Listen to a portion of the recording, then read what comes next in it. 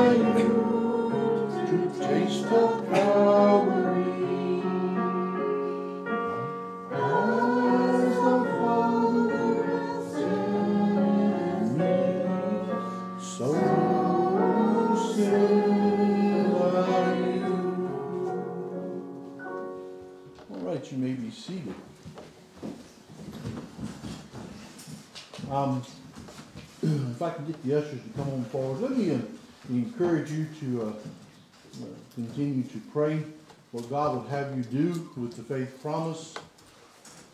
Um, we will have these cards. They're on the back table. Um, I probably should go ahead and pass those out, and I have not done that. Um, let's go ahead and do that after the offering. If, if you'll grab the cards and, and give them out, um, the blue cards on the back table and give them out to everybody. Come when you come forward. Sit down. Yeah, just go ahead and give one to everybody. This is just, you don't have to do it today, but this is, this is the faith promise card. This is what we're aiming for. And, and it has information on here. I think our brother will explain it more to you.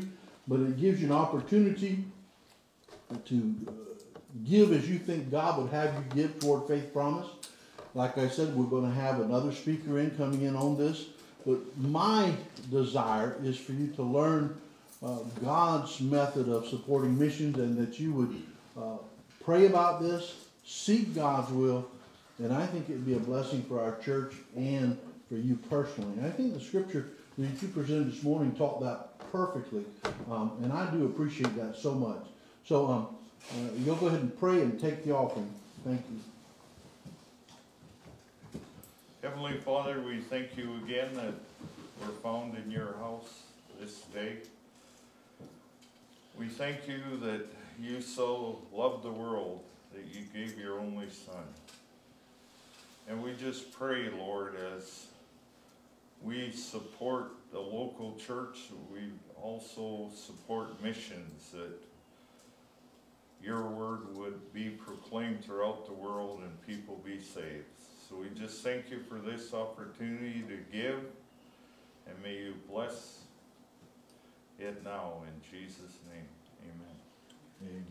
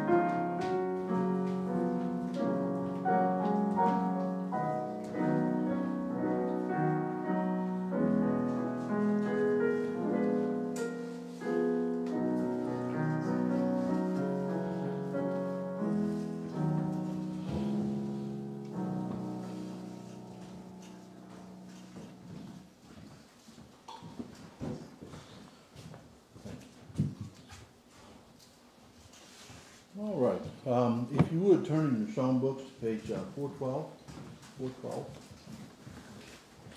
Um, if you noticed, um, or if you haven't, you will, if you hang around here long, I'm not a, a real refined person, I'm kinda rough around the edges.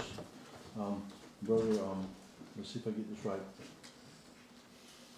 Bel, brother Belleville, You got it. Yeah, good. but my mind keeps wanting to go right the other way. Um, I've already said that a hundred times, or it'd be starting to stick. I've been repeating that thing to myself continually. Um, I'm not a very refined person. I mean, I was raised out in the sticks. They had to pump sunshine in. Um, but brother, you mentioned something close to that. We're in good standing. Uh, D.L. Moody wasn't a very refined man either, but God used him. And so we're gonna, we're gonna work and, and, and, serve the Lord best we can. We're gonna just trust Him to do the rest. Well, the, the whole key to serving God is you do all that you can do in your power, and when you reach the end of your rope, that's when God steps in. In our weakness, He's made strong. So praise the Lord for that. I got a lot of weaknesses. So 412, if you've got that, please stand. Rescue the perishing.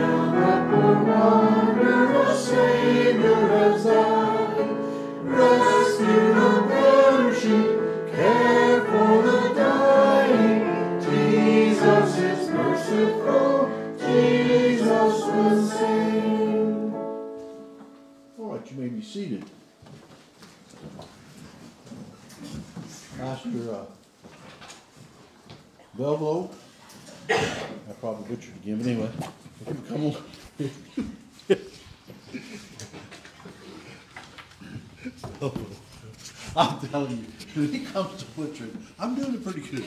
But Anyway, thank you, sir. And you, um, have liberty.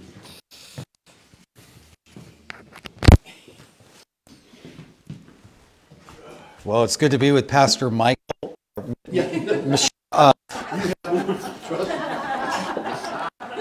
Uh, don't worry about it. Uh, honestly, I can tell you this I've been called all sorts of things.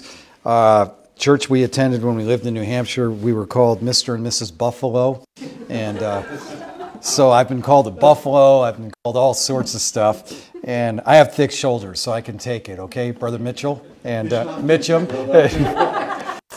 anyway, uh, you know, the truth of the matter is, to encourage you, we all have rough edges.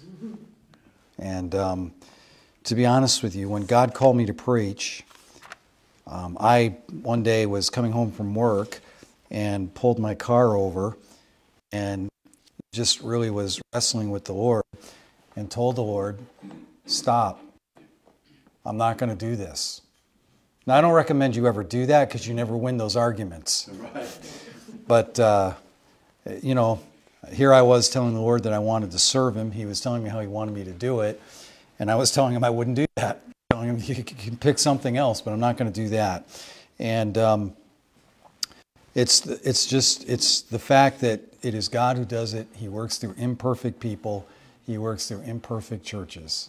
And it's a good thing that He does. All right, I don't know. Exodus chapter 12, if you'll open your Bibles there. We're going to work through a lot of scripture this morning. And uh, so I'm going to ask you to get your fingers ready. And um, I don't know. I know when I first started going to church, our pastor, you know, he would say, and I didn't know anything about the Bible. I started going to church, I wasn't saved yet. And uh, I got saved later. And I remember, you know, I'd go to church and, and our pastor would say, turn to Exodus chapter 12. And it would take me, you know, about 20 minutes to find the book of Exodus. You know, I'm looking at the table of contents and, you know, and, then it's worse. He's, start, he's starting to read the text and I'm still looking for it. And everybody's sitting there prim and proper. And I'm trying to turn my pages without making any noise. You know, I don't want them to hear that. And, and then I'd find it, victory. And then he'd say, now turn to the book of, and I think you got to be kidding me. And, uh, you know, and then it was re- a real killer. I'd like you to now turn to the book of Hosea. Hosea, where's that? And uh, so I'll tell you what I started doing. I'm just uh, fooey on this. Um, as soon as he starts reading, whatever book of the Bible I'm open to is what I'm going to be looking at. I'm just going to make it look good. That's all I care about. And so he might say Exodus chapter 12, and I could be in the book of Psalms, and I'd be sitting there looking at Psalms going, I have no clue what he's reading, but it doesn't matter. Nobody knows. And so if you can't find all the passages this morning, I'll never know. Just make it look good. Now, I don't know if everybody got uh, got a card this morning, got a faith promise card. Um, but on there, you'll notice that it says, By faith, I promise before God to give this amount above my tithe. Let me just clarify that whenever you do this, however you're going to do this, this is not your tithe. And you don't take from your tithe to give to, to missions, okay? It's above and beyond your tithe. Um, and then you'll notice there are different amounts there a dollar, five dollars, ten dollars, fifteen dollars, twenty dollars. Other, if the amount is not there, you can put it there. And then you also have to clarify whether or not you're going to give that weekly, monthly, or yearly. Okay. The other key thing is that you notice there's no place to put your name because you will not be asked. Um, you will not be followed up on when this is done uh, by your pastor. This is between you and God. And so um, you'll, again, I don't know when you're going to do this. We do this every year in our missions conference in May. Um, and we, uh, we have several days. We bring in a guest preacher, and uh, we are challenged to pray about increasing our faith promise giving each and every year. And so, uh, whenever you do that, just so you kind of understand that. Now, the reason uh, I hope you did get it, you kind of, I hope you kind of see the card, is because whenever this is presented, and I know it's called faith promise giving, I have no problem with that, and I don't lose sleep over uh, titles of those types of things. But I prefer to call it grace giving. And I'm going to show you why later this morning in a few minutes why I prefer to call it grace giving. I prefer to call it grace giving for missions. Um, but whenever this is promoted, uh, the question is asked is this kind of giving biblical? And by the way, that's a good and valid question because if it's not biblical, then let's have nothing to do with it. Amen. Period. Let's just, you know, move on to the, to the thing that is biblical. And so it's a good and a valid question. So here's what I want to do I want to see if I can uh, get us to ponder that question Is this giving biblical? By prodding our thinking by asking a couple of questions. Right, in other words, so we're asking the question Is it even biblical? I want to turn around, I want to say, Well, let me ask you this. Okay? Number one,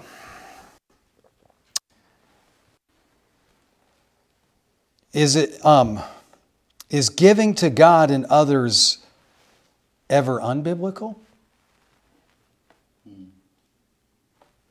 I mean, is it ever, ever unbiblical to give to God and to give to others?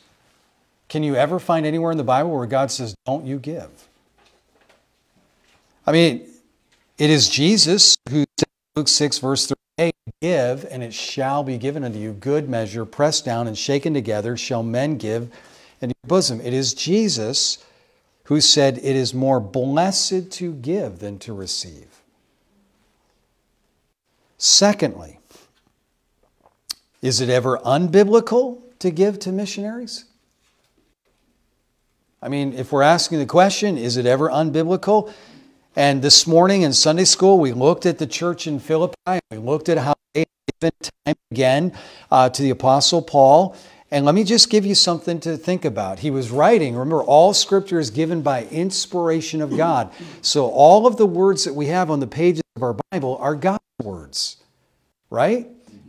Written through the pen of men, I understand that, but they're His words. So keep that in mind. When Paul was addressing the church in Philippi for their giving to him in, in his missions ministry, and they had recently given again, think about this.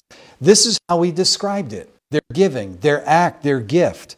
He said it was, and I quote, a sweet smell, a sacrifice acceptable, well pleasing to God. See, on that, I would say I don't believe it's ever unbiblical to give to missions. I don't think it's ever unbiblical to give to the work of God. I don't think it's ever unbiblical to give to people in need and all those things. Now, we can't all meet everybody's needs. But if we're asking the question, is it biblical? I would come back with, I do know this giving is most definitely biblical. That I do know.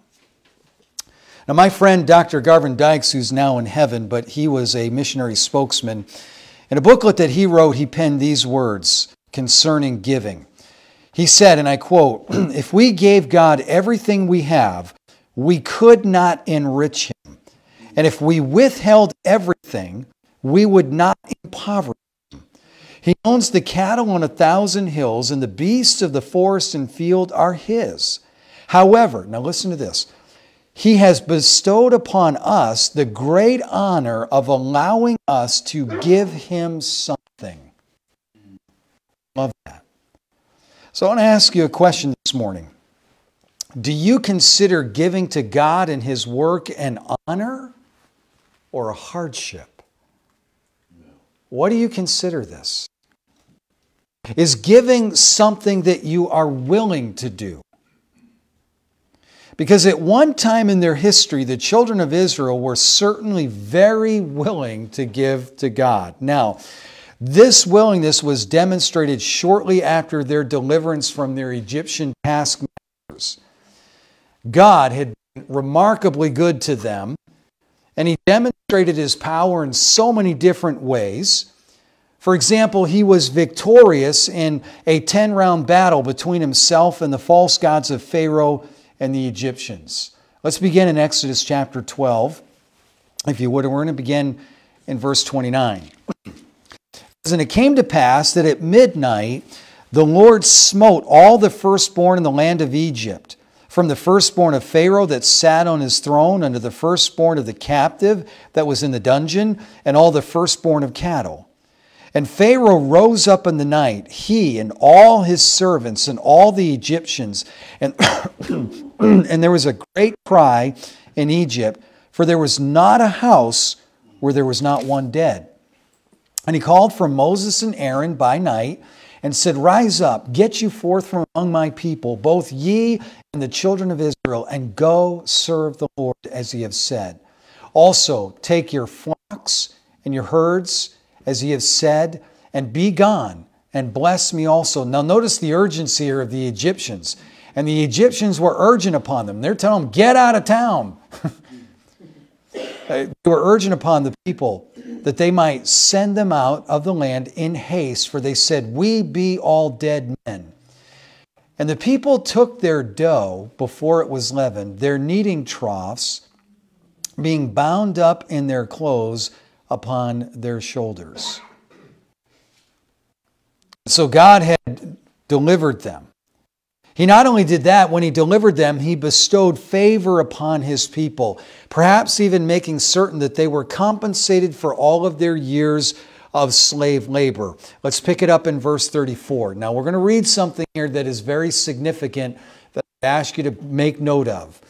And the people took their dough before it was leavened, their kneading troughs being bound up in their clothes upon their shoulders. Verse 34 is very significant. And the children of Israel did according to the word of Moses, and they borrowed of the Egyptians jewels of silver and jewels of gold and raiment. Mark that verse, mark what took place. So they're coming out and they're coming, coming out with gold, silver, and jewels, as well as cloth material, if I could put it to you that way, raiment from the Egyptians. Very significant. We'll see why in a moment. All right? Verse 36 And the Lord gave the people favor. Don't you love that? And the Lord gave the people favor in the sight of the Egyptians. Now, notice this is significant so that they lent unto them such things as they required, and they spoiled the Egyptians. And so God had finally set them free, and now He gave them favor in the eyes of the Egyptians and whatnot. He set them free and then led them as they, they made their way into the vast expanse of the wilderness. You know, I don't know if you've ever thought about it, but you've been in Egyptian bondage for 400 years. You're now free. You go out into this expanse. Well, which way do we go? And by the way, they didn't have iPhones with GPS on it, but they had God. And you know what I've noticed? Even iPhones with GPS, you can still get lost, but if you follow God, you'll never get lost. Notice with me verse 51 of chapter 12. It says, And it came to pass the self same day that the Lord did bring the children of Israel out of the land of Egypt by their armies. Let's go over to chapter 13, if you would, verse 20. And they took their journey from Succoth and encamped in Etham in the edge of the wilderness. Notice this, and the Lord went before them by day in a pillar of a cloud to lead them the way, and by night in a pillar of fire, to give them light to go by day and night. He took not away the pillar of the cloud by day, nor the pillar of fire by night from before the people. So they had a visible, uh, a, vi- a, visible um, marker of his presence, his leadership there in the camp. And then when Pharaoh and his men came in hot pursuit, believe it or not, Pharaoh decided, I'm going to try to get him back. We know that. And when he came in hot pursuit to try to take back his slave labor, it was the Lord who once again stepped in, protected Israel, and made certain that they would never return to Egyptian bondage. I'd like you to go to chapter 14 and notice with me verse 30. Thus the Lord saved Israel that day out of the hand of the Egyptians. And Israel saw the Egyptians dead upon the seashore. And Israel saw that great work which the Lord did upon the Egyptians. And the people feared the Lord and believed the Lord and his servant Moses. And you know, despite chronically complaining, which is, I'm sure, something that you never do. Despite chronically complaining, the Lord made certain that his people had adequate food and water as they journeyed with him. I'd like you to go to chapter 16, if you would. There are multiple passages we could turn to. Let's just go to chapter 16. Notice verse 11. And the Lord spake unto Moses, saying, I have heard the murmurings of the children of Israel. Speak unto them, saying, At even ye shall eat flesh, and in the morning ye shall be filled with bread, and ye shall know that I am the Lord your God. And it came to pass that at even the quails came up and covered the camp, and in the morning the dew lay round about the host. And when the dew that was uh, that lay was gone up, behold, upon the face of the wilderness there lay a small round thing, as small as the hoarfrost on the ground. And when the children of Israel saw it, they said one to another, It is manna, for they wist not what it was. And Moses said unto them, This is the bread which the Lord hath given to you, or given you to eat. The truth is, folks, God had been good to them. And hasn't God been good to you? Amen. I mean, don't you look back over your life and God has been so good to me? Now, eventually, the Lord commanded them to take up an offering. I'd like you to turn to chapter 35. Chapter 35. They're making their way through the wilderness, and at this point, God now is going to command them to take up an offering. All right, notice with me verse 4. And Moses spake unto all the congregation of the children of Israel, saying, This is the thing which the Lord commanded, saying, Take ye from among you an offering unto the Lord. And so he commands them now to take up an offering, and this offering is to be given to the Lord. Now, rest assured that this command was not issued because God needed anything from any of them. I mean, think about it. Everything he did up to that moment clearly proved that he needed nothing from the children of Israel. I mean, he was the one who set them free. He was the one who provided water. He was the one who provided uh, manna. He was the one who provided quails. He didn't need anything from them. That's not why he's issuing this command. I mean, he was the one who had parted the Red Sea and all of those things. It's not because he needed anything. This is why I go back to what my friend Brother Dyke said uh, when he wrote his booklet. He gives us the honor of giving to him. Now, in light of God's goodness, let me ask you this Are you as willing to give to God as these and some others were? I want you to notice with me, we're going to build our way and we're going to kind of hedge a row all the way into the New Testament. So hang with me this morning, but we're going to get all the way into the New Testament. I want us to look at it. We just said that, yes, God has been so good to me. So now we ask the question God's been good to me. Am I willing to give? I mean, really, of my monetary material possessions, of my finances, am I willing to give to Him? Just as the Jews and others in the New Testament were. Follow with me if you would. I want you to notice a few things about this offering before we get into the New Testament. I want you to hear with me, first of all, the command. All right? I want you to hear the command.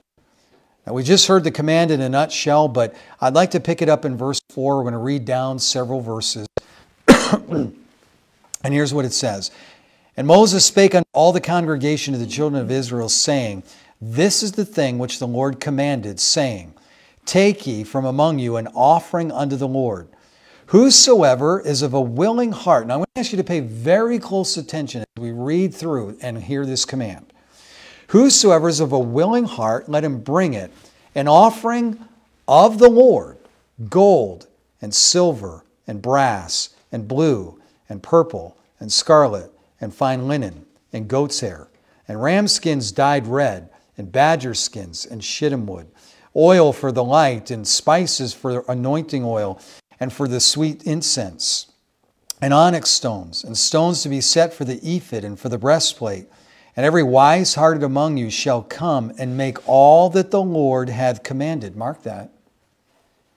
The tabernacle, his tent and his covering, his taches and his boards, his bars, his pillars and his sockets, the ark and the staves thereof, with the mercy seat and the veil of the covering, the table and his staves and all his vessels and the showbread, the candlestick also for the light and his furniture, and his lamps with, uh, with the oil for the light, and the incense altar and his staves, and the anointing oil, and the sweet incense, and the hanging for the door at the entering of the in of the tabernacle, the altar of burnt offering with his brazen grate, his staves, and all of his vessels, the laver and his foot, the hangings of the court, his pillars and their sockets, and the hanging for the door of the court, the pins of the tabernacle, and the pins of the court and their cords, the cloths of service to do service in the holy place, the holy garments for Aaron the priest, and the garments of his sons to minister in the priest's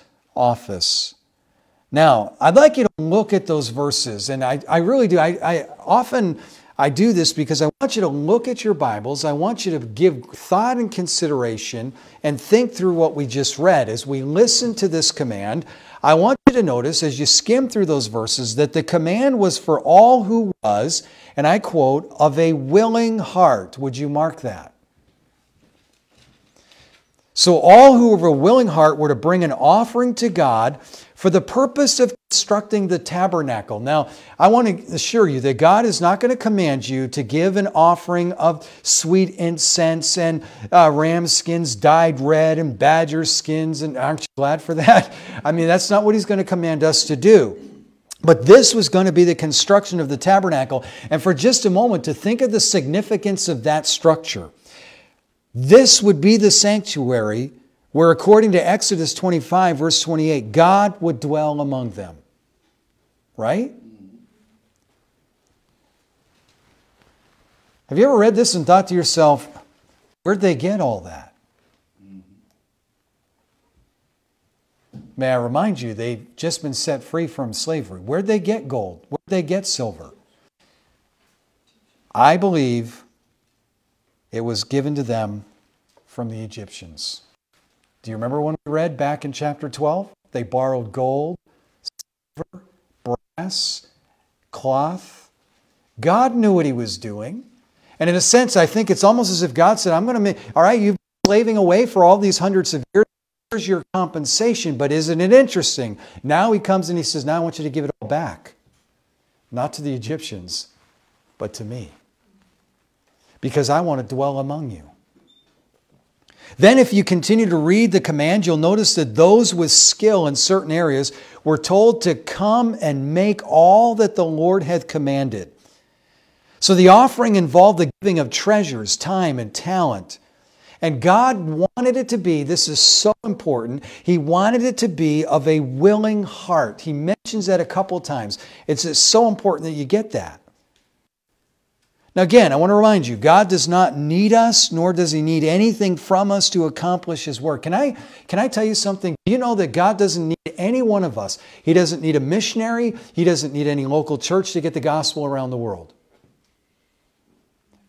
Folks, He created our world in six days by the sound of His voice. Does He sound like He needed any help? That God's up in heaven going, man, how am I going to get this message out? He doesn't need anything from us. However, he has chosen to use us and the generosity of His people to accomplish His work. And I want to assure you that He still loves it when His people give willingly and joyfully. God still loves that. 2 Corinthians 9, verse 7 says, Every man, according as he purposeth in his heart. Do you see a, a correlation? To the Jews, he said, I want it to be of a willing heart. In the New Testament, he says, uh, As you purpose in your heart, so let him give. Not grudgingly or of necessity, for God loveth a cheerful giver. Now, I'm going to say this, and your pastor may not want me to say this, but whenever you do your faith promise, you don't have to do it. Because the truth is, God says, I really want it to come from a very willing heart. I want you to want to do this. And I love a cheerful giver. So that's the command. I'd like to notice with me, secondly, as we continue to look at this offering, I want you to notice the response. All right, the response. Let's pick it up in verse 20 of chapter 35. And all the congregation of the children of Israel departed from the presence of Moses. And they came, everyone whose heart stirred him up, and everyone whom his spirit made willing. And they brought the Lord's offering. And notice it's the Lord's offering. And they brought the Lord's offering to the work of the tabernacle of the congregation, and for all his service, and for the holy garments. And they came. Notice this both men and women as many as were willing hearted, note that, and brought bracelets and earrings and rings and tablets, all jewels of gold. And every man that offered, offered an offering of gold unto the Lord. And every man with whom was found blue and purple and scarlet and fine linen and goat's hair and red skins of, uh, of rams and badger skins brought them. In other words, what that means is that someone went home and said, I don't have any gold. But hey, wait a minute. Got, hey, get that purple robe out of the closet. We can give that. Everyone that did offer an offering of silver and brass brought the Lord's offering to, and every man with whom was found shittim wood for any work of the service brought it. And all the women that were wise hearted, listen up, women, the women were involved. And all the women that were wise hearted did spin with their hands and brought that which they had spun, both of blue and of purple and of scarlet and of fine linen. And all the women whose hearts stirred them up in wisdom spun goat's hair. And the rulers brought onyx stones and stones to be set for the ephod and for the breastplate spice and oil for the light and for the anointing oil and for the sweet incense. The children of Israel brought, notice, a willing offering unto the Lord. Every man and woman whose heart made them willing to bring for all manner of work which the Lord had commanded to be made by the hand of Moses. Again, I want you to notice in verse 29 that it was both men and women who were willing to bring an offering to the Lord. I mean, it says that they brought a willing offering unto the Lord, every man and woman. Notice whose heart made them willing to bring. And by the way, they gave what God had given to them. Think about it. All of this stuff was given to them by the Egyptians, really by the work of God. Remember, it was the Lord who showed them favor when they got those things. So, you know what they're doing is they're giving back to God what He had given to them. But he was, they were also giving what they had in possession. That's why I pointed out that some maybe didn't have as much gold or silver, but they found purple or they found blue or they found, uh, some said, I've got wood. I can bring that. What, but we got something that we can give. All of us can give something in this, so let's give. They invested their time and their talents in the construction of the tabernacle. And by the way, this was not a one time offering either. Did you know that? Let's go to chapter 36, verse 2. And Moses called Bezaleel and Aholiab and every wise hearted man in whose heart the Lord had put wisdom, even everyone whose heart stirred him up to come unto the work to do it. And they received of Moses, notice, all the offering which the children of Israel had brought for the work of the service of the sanctuary to make it withal. Now, notice this last statement. And, and they brought yet unto him free offerings one time. Is that what it says?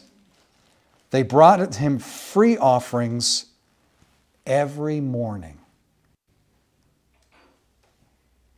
I mean, the children of Israel were so willing to give to God that every morning they brought, to use the Bible terminology, their free offerings. Those are offerings that were not commanded of God.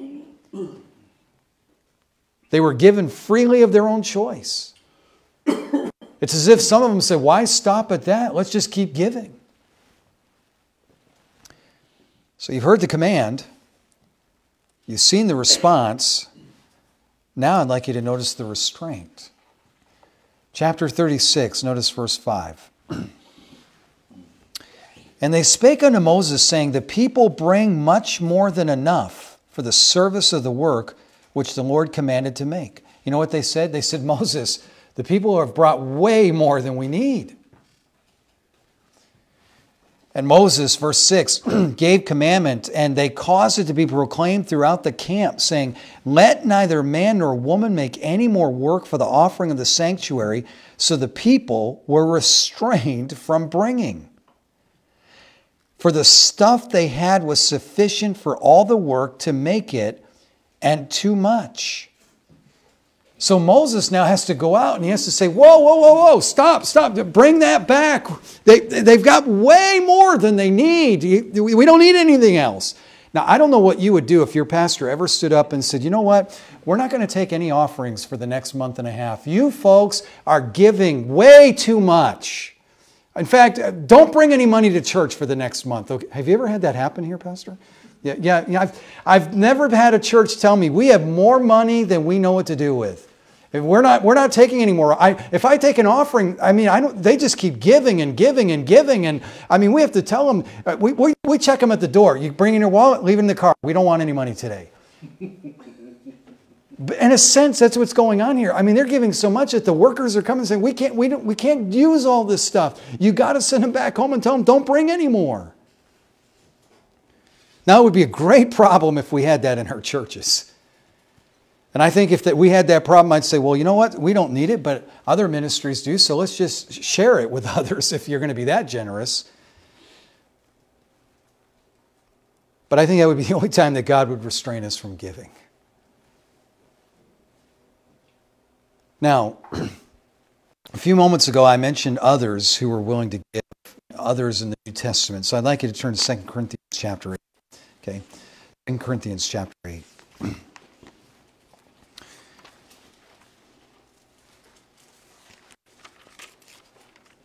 And uh, 2 Corinthians 8 and 9 are the key passages for faith promise giving, grace giving.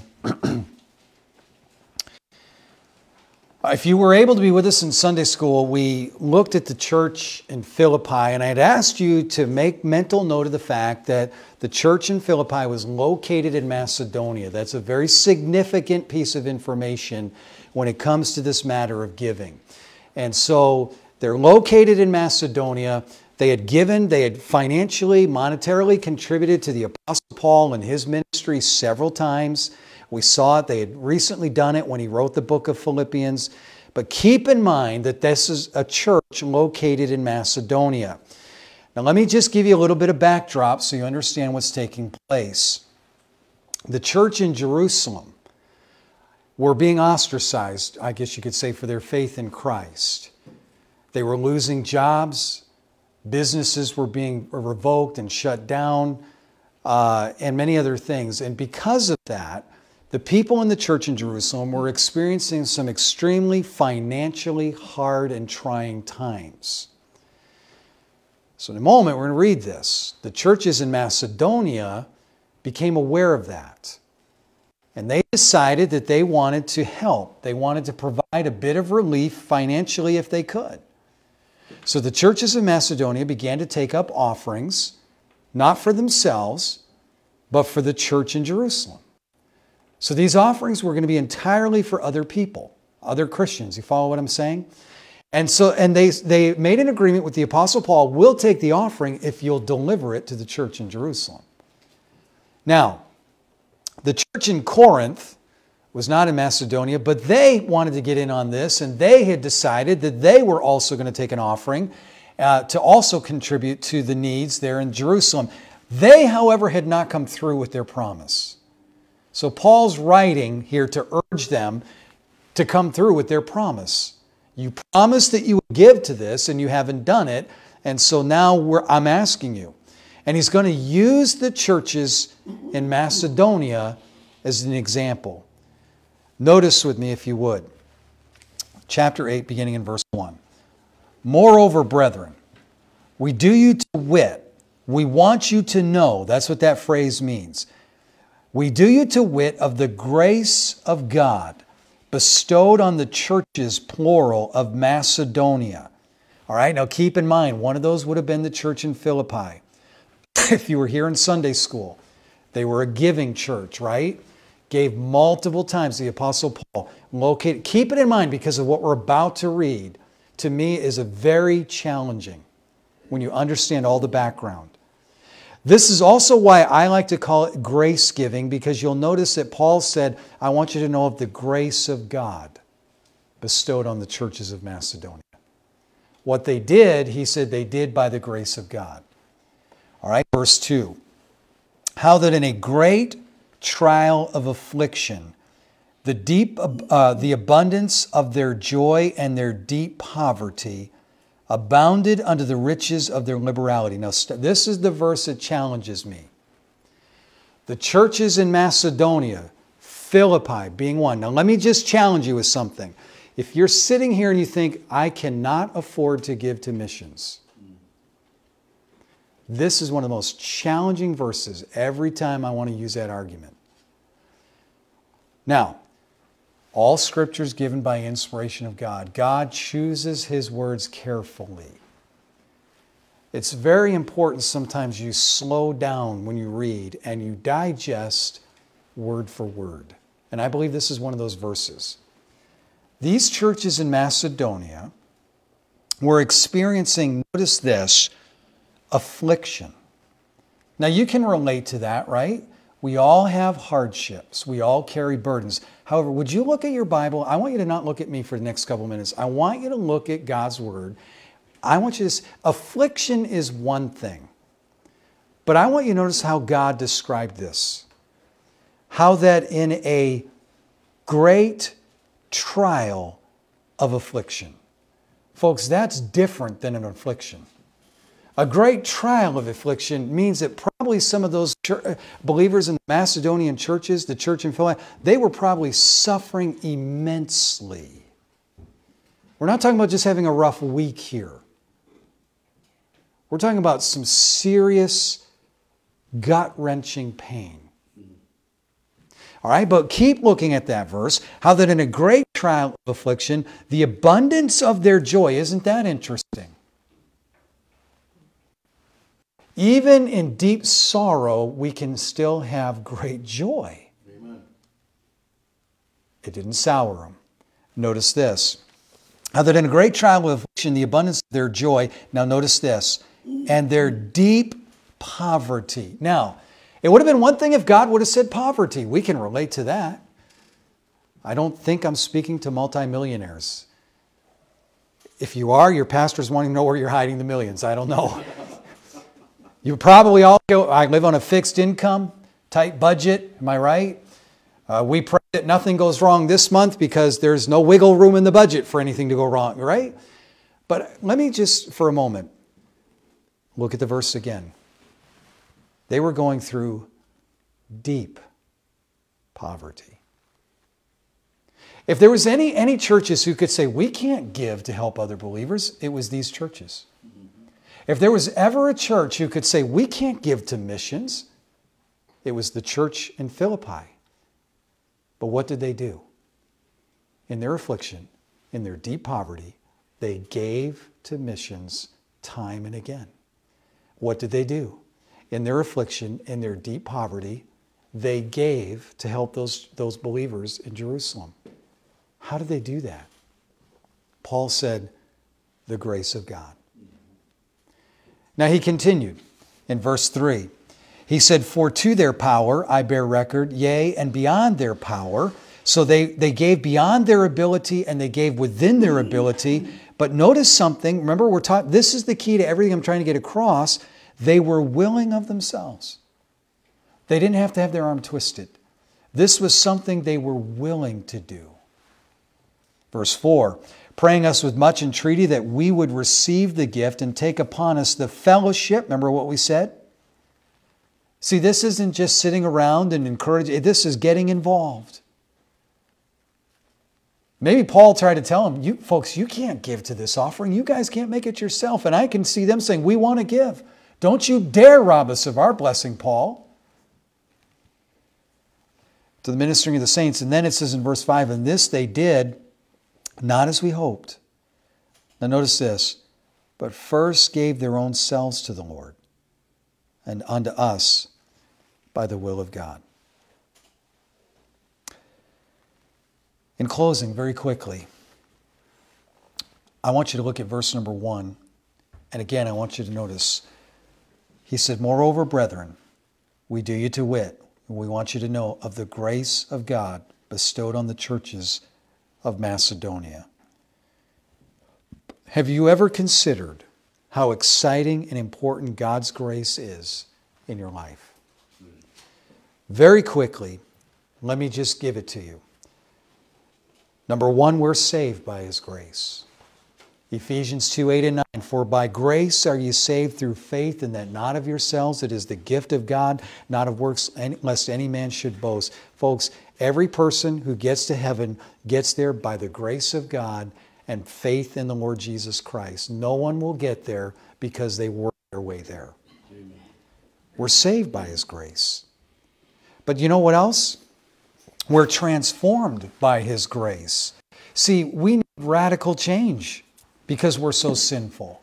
And in His grace, God changes us and shapes us and molds us. Uh, I, I, w- I won't ask for a show of hands, but how many of you can look back from the day that you were saved to where you are now and can say, you know what, there's been some changes. God has changed me. I'm not the person I used to be. And you look at it and you go, thank God for that. Folks, that's His grace. 1 Corinthians 15, I love these verses. The Apostle Paul said, For I am the least of the apostles that am not meet to be called an apostle because I persecuted the church of God. But by the grace of God, I am what I am. God's grace had changed him. Thirdly, we are enabled by God's grace. You were talking about having, you know, a lot of uh, uh, flaws or whatever word it was you used. You know what? Uh, the truth of the matter is, anything that we do for God, any work that we accomplish is really by His grace. Paul went on in that verse, he said, But by the grace of God I am what I am, and His grace which was bestowed upon me was not in vain, but I labored more abundantly than they all, yet not I, but the grace of God which was with me. We're saved by His grace transformed by His grace. We're enabled by His grace. We are enabled to suffer by His grace if that's His will for us, according to 2 Corinthians 12, verses 7 through 10. It is God's grace that enables us to live for Him each day. But guess what? It is also God's grace that enables us to give of our financial resources, no matter how limited they may be. Again, one last time. 2 Corinthians 8, verse 1. Moreover, brethren, we do you to wit of the grace of God bestowed on the churches of Macedonia, how that in a great trial of affliction, the abundance of their joy and their deep poverty abounded unto the riches of their liberal, out liberality. Think of it this way God's grace is saving grace, it is transforming grace, it is enabling grace, but it is also giving grace. So to us today, God says, listen, to suffering, destitute Christians in Macedonia, I imparted to them giving grace. And I can impart the same giving grace to you. But here's his question this morning, and only you can answer this. Are you willing to become a recipient of my giving grace? Amen. Do you want to be a part of it? Do you want to say, Lord, I want you to give me the grace to dig deep into my wallet and give to missions? I don't see how this can work except by your grace. And I want that grace. God says, guess what? If you want it and you ask for it, I'll give it. And you'll be amazed how much you'll be able to give not by your resources, but by my grace. Father, I pray this morning that you'd encourage us that, Lord, we can give. Uh, Lord, you have the grace to give us and you want to enable us to give. And I just pray that, Lord, this helped. We've looked at a lot of scripture. But, Lord, I just ask that you just um, move and work in the hearts of your people. Use this church. Lord, bless this church. Lord, I pray you give them fruit for their labors as they try to reach people here in Nanaimo. Pray you give them a unified spirit to do so. Lord, I, I would ask that you would just uh, also give them a unified spirit missions and in giving to missions. And Lord, that you just would encourage them The size of their church does not matter to you. Lord, the size of our budgets and our paychecks doesn't matter to you. Your grace is infinite. And Lord, you've got grace to give each and every one if we're just willing to be recipients of it. And so, Lord, I pray that in the days ahead, you'll do marvelous things that only you can do for your honor and glory here at Harbour Baptist Church for the cause of Jesus Christ. We ask these things in Jesus' name. Amen. Brother Mitchum, if you'd like to come.